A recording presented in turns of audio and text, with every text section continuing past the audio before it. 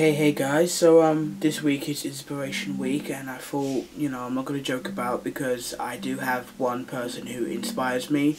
So, uh, yeah, today I'm going to be taking it seriously.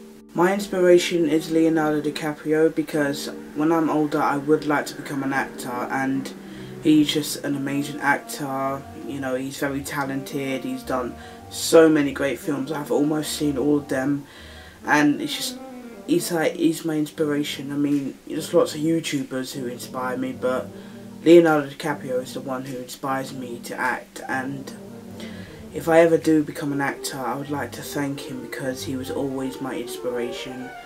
I've got almost all of his films. Um, here's a picture of um, the films I've got of his.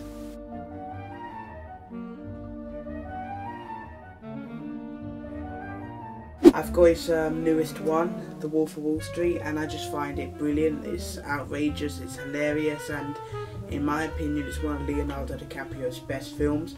And he's done so many great films like Shutter Island, Catch Me If You Can, The Gangs of New York. You know, it's just he's a brilliant actor. Not only is he into acting, but he's also into you know saving nature and everything. Like I follow his Twitter and I like his Facebook page. He's always asking sorry, he's always asking people to donate money, you know, to save elephants and sea creatures, endangered animals, which I find amazing and brilliant that he is so considerate about, you know, our world. And yeah, basically he's my massive inspiration and so yeah, I guess that's my inspiration. So uh bye.